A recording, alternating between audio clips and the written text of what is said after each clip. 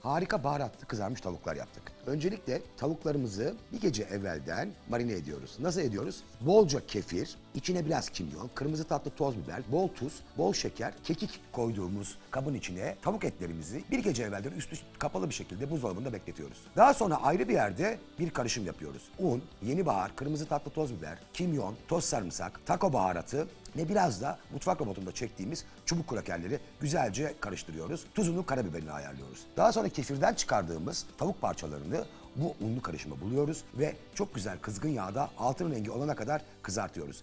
Biraz daha içleri pişmesi için önceden ısıtılmış 200 derecelik fırında yaklaşık 10-15 dakika bekleterek servis yapıyoruz.